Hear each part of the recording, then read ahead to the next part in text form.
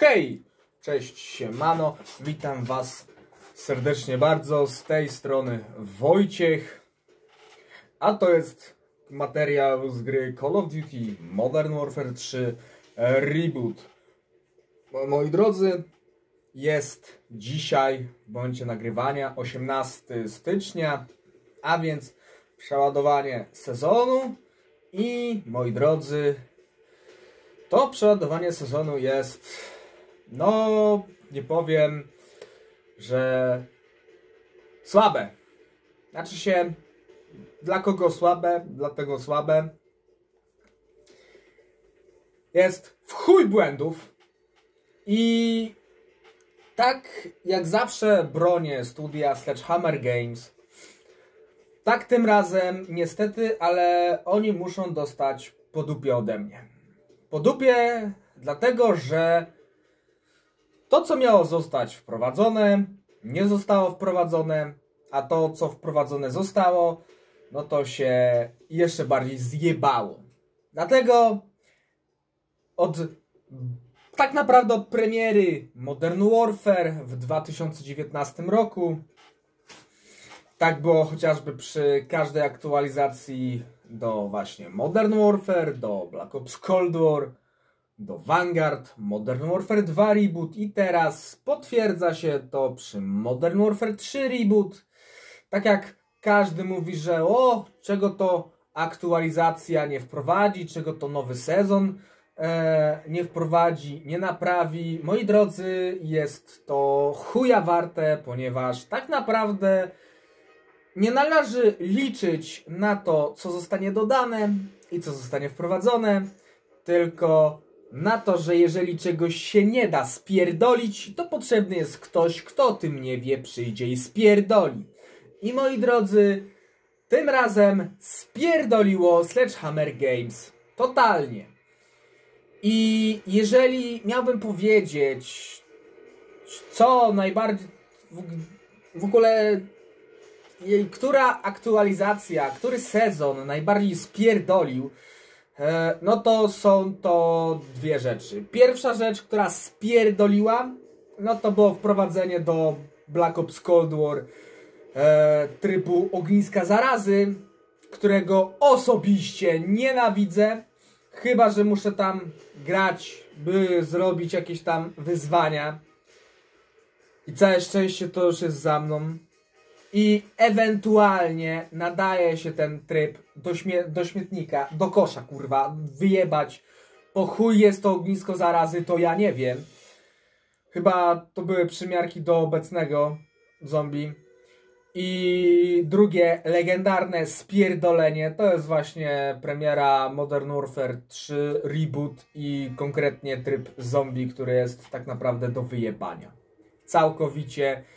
I uważam, że zombie w takiej formie nie powinno nigdy powstać, tak więc Treyarch zapierdalaj kurwa jego mać robić normalne zombie. Żaden kurwa otwarty świat. Jeśli jeszcze raz zobaczę, że gdzieś wjebaliście otwarty świat do trybu zombie, dostaniecie ode mnie taki opierdol, że nawet Makler Games was kurwa nie obroni. Ale do rzeczy, moi drodzy. Materiał ten widzicie najprawdopodobniej po starcie sezonu drugiego, ale co tam. Ważne, że nagrywam i pokazuję co i jak. Moi drodzy, jako że jest przeładowanie, to zostały dodane dwie nowe bronie. Dwie nowe bronie, które e, tak naprawdę jedna z nich jest do zdobycia w karnecie bojowym, w sektorze A21. Jest to pistolet maszynowy HRM9. Wygląda on, moi drodzy, w ten oto sposób, żeby e, go zdobyć, no to potrzeba e, kończyć e, 5 wyzwań, tak naprawdę. I cóż, moi drodzy, mamy tutaj dwie części z rynku wtórnego mamy zestaw e, RK jak Thunder, gdzie potrzebujemy zabić e, 10 operatorów e, celując z PM-u. Powiem wam szczerze, Szukałem, przejrzałem każdą dostępną broń w grze i kurwa nie znalazłem tej części z rynku wtórnego. Nie wiem kurwa, gdzie, czy ona w ogóle istnieje. Została dodana, ale e, pff, nie mam zielonego pojęcia, gdzie ona kurwa jest. Druga część z rynku wtórnego jest to jak e BFB i moi drodzy, trzeba zabić 10 operatorów, strzelając z biodra z PM-u. Jest to wylot lufy, tylko kurwa, że ten wylot lufy też kurwa nie istnieje. Macie, otrzymujemy części z rynku wtórnego, które kurwa nie istnieją, mimo iż zostały dodane do gry, to kurwa ich nie ma. Przejrzałem każdą broń i kurwa i wiecie co? Ich, I tych części nie znalazłem. Zajebiście. Otrzymujemy emblemat pęknięcie czaszki. Zabić musimy 10 wrogów strzałem w głowę korzystając z PM-u. E, pół godziny PD e, na karnet bojowy. Musimy zabić 10 e, wrogów e, w postawie taktycznej PM-em. I żeby odblokować ten PM, no to musimy zabić 20 e, wrogów strzelając z pistoletu maszynowego w ruchu i otrzymamy e, tą właśnie e, broń, czyli HRM9, czyli po prostu Beretta PBX. I właściwie, tfu, Beretta PBX, Beretta PMX. I moi drodzy, ta broń, zupełnie nowa broń całej serii Call of Duty, tak więc plus dla nich za to, że e, Sledgehammer Games wprowadził faktycznie nową broń, a nie powielają cały czas tych samych. Tak więc tutaj ogromny plus i, sza, e, i szacunek dla nich się e, z, te, z tego e, tytułu należy. Dalej, moi drodzy, mamy wyzwanie tygodniowe, mm, tydzień siódmy. I moi drodzy, w tygodniu siódmym jest kolejna broń, jest to tak Evolvere. Wygląda w ten sposób. Jest to tak również nowa, całkowicie nowa broń w serii Call of Duty. I jest to również du duży plus, należy się dla studia Sledgehammer Games i w tym przypadku należy ich pochwalić. I moi drodzy, mamy tutaj wyzwania, żeby tą broń odblokować. Standardowo trzeba ukończyć 5 wyzwań, żeby odblokować i przybliżyć się do kamuflażu spójność. A więc Trzy razy dokonać zabójstwa typu pierwsza krew, korzystając z zalecanej broni. E, zabić 20 wrogów, e, mając zestaw jak Beholder na rewolwer tyr. Swoją drogą na, naj, najgorsza broń w grze. Nie ma kurwa, może inaczej. To jest najgorsza broń do trybu wieloosobowego. Nie ma kurwa gorszej. Naprawdę. Ten rewolwer to jest po prostu śmiech na sali i jeżeli miałbym wskazać najgorszą broń w całej serii Call of Duty, to byłby to właśnie rewolwer Tyr. Nie żartuję, kurwa. Nawet rewolwer, cała masa rewolwerów, jakie do tej pory wyszła w serii Call of Duty, jest lepsza niż kurwa Tyr.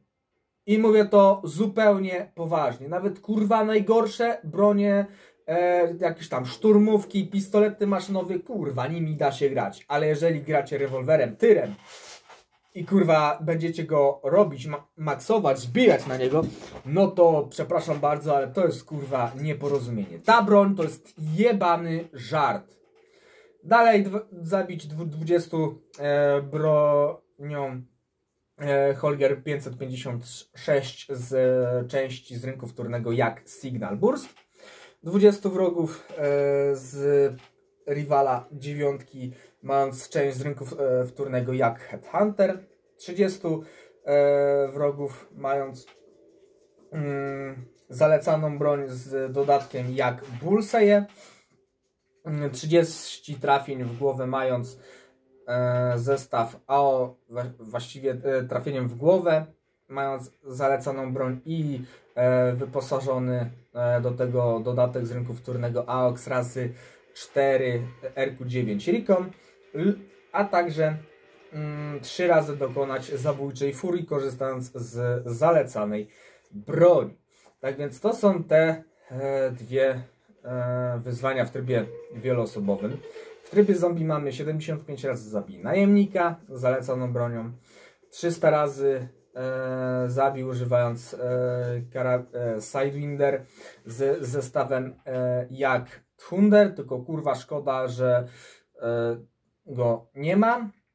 300 razy celując Holger 505, e, 556 z e, częścią jak Signal Burst. Rival 9, czyli e, też część jak Headhunter. E, zabić wroga strzelbą o, e, na poziomie mm, epickim lub wyższym, jeśli chodzi o rzadkość. Oczyścić zainfekowaną twierdzę 5 razy lub też 500 razy zabić wroga obrażeniami od ognia zalecaną bronią. Więc mamy tutaj no takie dość łatwe wyzwania, a Battle Royale nagle okazało się, że dostajemy e, jedno wyzwanie więcej, tak więc łącznie e, nie mamy sześciu wyzwań w Battle Royale, czy- czyli w królewskim hamburgerze, a siedem wyzwań. Dostaliśmy jedno wyzwanie. Oho, oho. Ale kogo obchodzi królewski e, króle, kogo obchodzi królewska bitwa? Nie wiem, kurwa. W sumie serio? I jest ktoś, kto kogo obchodzi to chujstwo? Tak więc tak się prezentują wyzwania. Do tego mamy wydarzenie e, chłopcy, likwidacja słupków i powiem wam szczerze, mam wyjebany na to wydarzenie. I mówię to śmiertelnie poważnie, mam wyjebane. Dlaczego? Ano dlatego, że dzieje się to, trzeba to zrobić w trybie wieloosobowym i kurwa e, tylko i wyłącznie na, try, e, na trybach core. Nie, na hardkorze można, ale no kurwa mać, to jest jakaś, to jest żenada. To jest po prostu, że nada. A więc mamy, e, żeby zdobyć wizytówkę The Boys, czyli chłopcy, 7 razy trzech operatorów nie przeładowując broni, to można zrobić wszędzie. Emblemat jebane słupki. E, musicie 5 razy zabić operatora pod wpływem wyładowania elektrycznego e, w trybie The Boys, e, żeby zdobyć po, pominięcie mm, że, że to pominięcia e, poziomu musicie zabić operatora będąc w postawie taktycznej e, na broni KWD Enforcer nalepkę Vogt a Burger nie wiem kurwa to powinno się poprawnie czytać musicie 25 razy zebrać e, kawkę z tymczasowym V w, w trybie The Boys nie wiem, nie wiem co to jest ten tymczasowy V nie wiem, może że to jest tymczasowa rakieta V2 albo latająca bomba V1. Co to jest kurwa tymczasowe V? Nie wiem, nie znam się. E, talizman, terror, mm, to musicie zabić e, 25 e, operatorów, czyli po prostu wrogów, atakiem wręcz z wyposażoną latarką ultrafioletową. Chuj wie o co tu chodzi, jaka latarka ultrafioletowa. Jedyna latarka ultra, ultrafioletowa jaką znam znajduje się w Black Ops Cold War w trybie zombie na mapie Mauerder Totem. Dziękuję bardzo, do widzenia. I żeton podwójnych PD na godzinę, czyli musimy 7 razy wygrać mecz w trybie chłopcy. No zajebiście. I teraz przechodzimy do Łażona. E, To samo, ale od tyłu, czyli 3 razy ukończ mecz w Łażon w top 10. Zabij operatora wręcz włażonym. 7 razy wypełnij kontrakt włażonym, 5 razy zabij strzelbą włażonym, 10 razy PM włażonym i 7 razy e, leżąc również w łażonym. Tak więc tak wygląda, tak się prezentują wyzwania z tego wydarzenia w łażonym i trybie wieloosobowym. Ponadto zostało wprowadzone oczywiście jeszcze e, ten cały no, e, to całe wydarzenie, czyli e, supermoce. Zbieraj tymczasowe V, aby zyskiwać nowe zdolności. Z wielką mocą przychodzi absolutna pewność, że skopiesz wrogom dubska. No nie wiem, czy skopię wrogom dubska, z racji tego, że nie gram Kora, tak więc no totalnie tego nie pokażę, nie powiem jak to wygląda, więc teoretycznie i praktycznie mam to w dupie. E, dziękuję bardzo, do widzenia.